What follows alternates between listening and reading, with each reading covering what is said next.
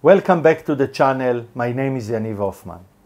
In military theory, warfare is typically divided to three levels tactics, operations, and strategy. Each one of these three levels give you a different perspective into the art of war.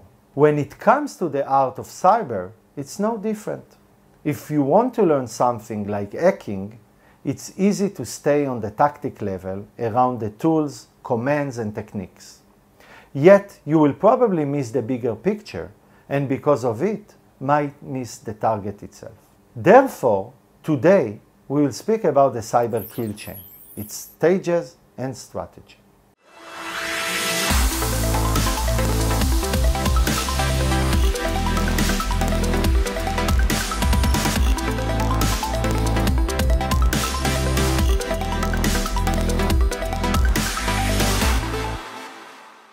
Developed by Lockheed Martin, the Cyber Kill Chain framework is part of the model of identification and prevention of cyber intrusions activity. The model identifies what the adversary must compare in order to achieve their objective. It all started in 2011 by computer scientists at Lockheed Martin Corporation that described the new intrusion kill chain framework or model to defend computer networks. They wrote that attacks may occur in phases and can be disrupted through controls established at each phase. According to Lockheed Martin framework, cyber kill chain reveals the phases of a cyber attack, from early reconnaissance to the goal of data exploitation. The kill chain can also be used as a management tool to help continuously improve network defenses. According to Lockheed Martin, threats must progress through several phases in the model. Reconnaissance, when intruder selects the target, reaches it, and attempts to identify vulnerabilities in the target network. Weaponization, when intruders creates a remote access malware weapon, such as a virus or worm, tailored to one or more vulnerabilities. Delivery, when intruder transmits weapons to target, in example, via email attachment, website, or USB driver. Exploitation, malware weapons program code triggers which takes action on target network to exploit vulnerability. Installation, which is malware weapon installs access point. Example like is a backdoor usable by intruder command and control. Malware enables intruder to have hands on the keyboard, persistent access to target network.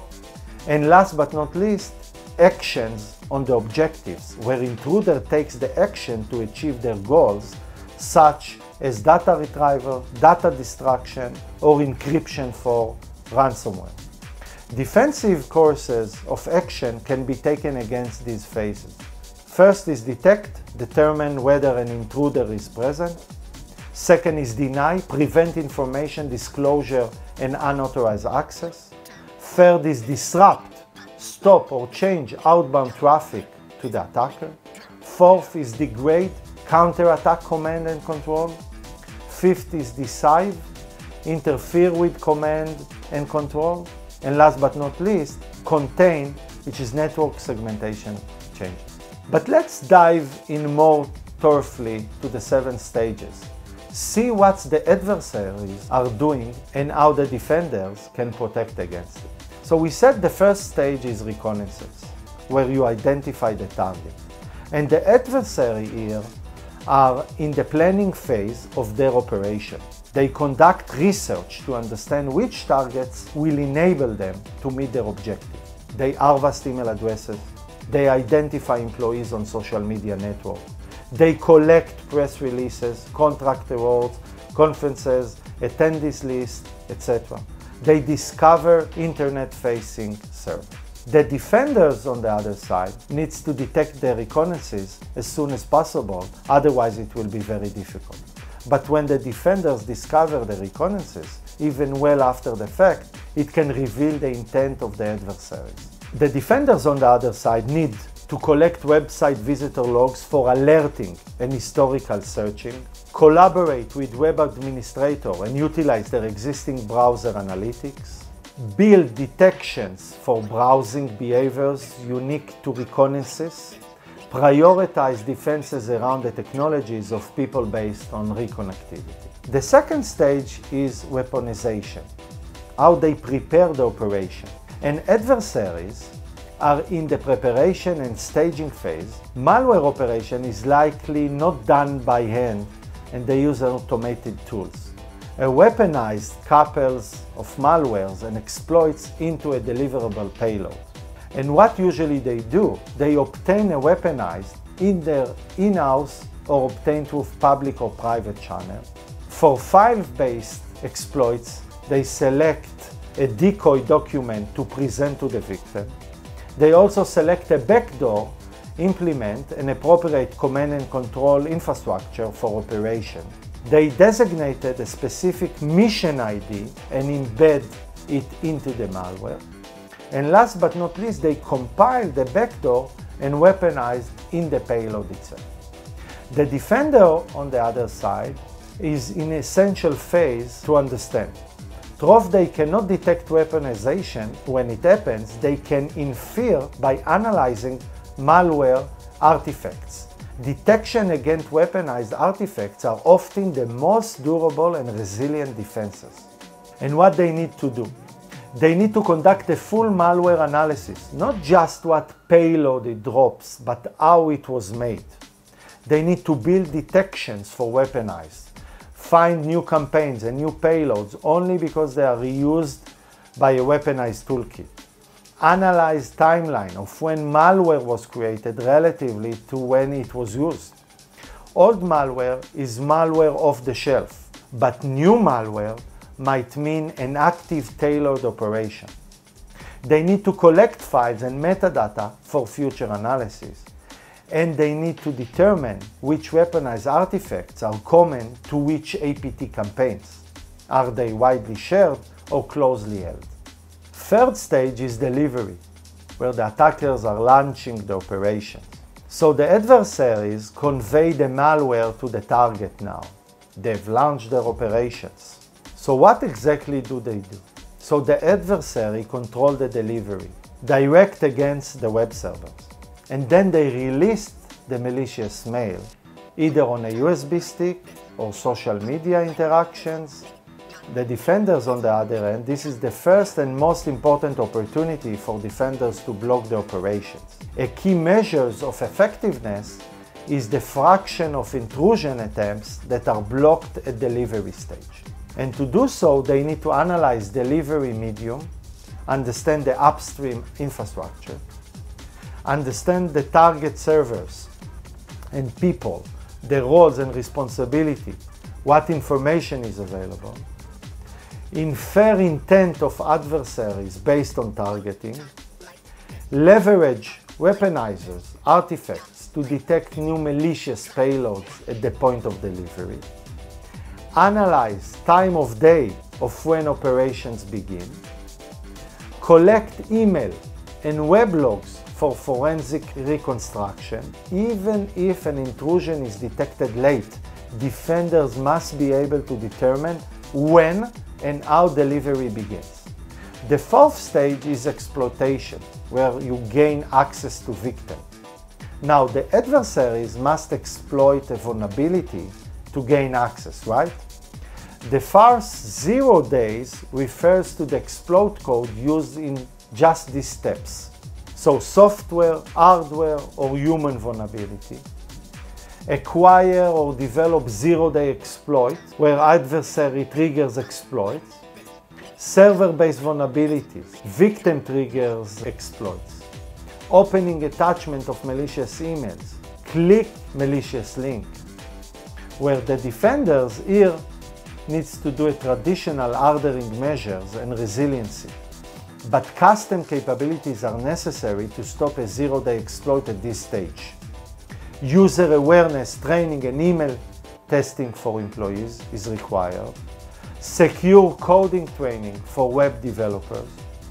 regular vulnerability scannings and penetration stand, uh, testing, endpoint hardening measures like restrict admin privileges, use Microsoft EMET, custom endpoint rules to block uh, shellcode execution, and last but not least, endpoint process auditing to forensically determine origin of exploit. The fifth stage is installation, where you try to establish a beachhead at the victim. Now, typically the adversaries install the persistent backdoor or implement in the victim environment to maintain access for an extended period of time. So they install a web shell on the web server, they install a backdoor to implement on client victims, they create a point of persistency by adding services like AutoRun keys, etc. And some adversaries timestamp the file to make malware appear it is part of the standard operating system install. On the defender side, endpoint instrumentation to detect and log installation activity, analyze installation phase during malware analysis to create new endpoint mitigations. And here few items. HIPS to alert or block on common installation paths, in example recycler. Understand if malware requires administrator privileges or only user. Endpoint process auditing to discover abnormal file creations, extract certifications of any signed executables, and understand compile time of malware to determine if it is old or new. The sixth stage is command and control, and this is where remotely control the implants. So the adversary use the malware that opens the command channel to enable the remote manipulations to the victims. So they use a two-way communication channel to the command and control infrastructure. And most common command and control channels are over web, DNS, and email protocols. Now the command and control infrastructure may be adversary owned or another victim network itself. The defenders last best chance to block the operation by blocking the command and control channels. If the adversary cannot issue commands, defenders can prevent the impact, right? So it's very important to discover the command and control infrastructure through malware analysis. So you need to harden your network by consolidating number of internet points of presence. Require proxies for all types of traffic like HTTP and DNS. Customize block of command and control protocols to web proxies. Proxy category to block including non or uncategorized domains. DNS sinks, alling, and name server poisoning. And conduct open source research to discover new adversary command and control infrastructure. Last but not least is actions on the objectives and here it's to achieve the mission goal, where the adversaries with hands-on on the keyboard access intrudes accomplish the mission goal. What happens next depends on who is on the keyboard. And they collect the user credential, they can collect privilege escalations, internal reconnaissance, lateral movement of environment, collect exfiltrate data, they can destroy the system, overwrite or corrupt uh, data, etc. From the defender side, the longer an adversary has the command and control access, the greater the impact. Defenders must detect this stage as quickly as possible by using forensic evidence, including network packet captures for damage assessment. And the goal is to establish incident response playbook, including executive engagement and communication plan. Detect the data exfiltration point, lateral movement, unauthorized credential usage. Immediate analysis response to all command and control alerts.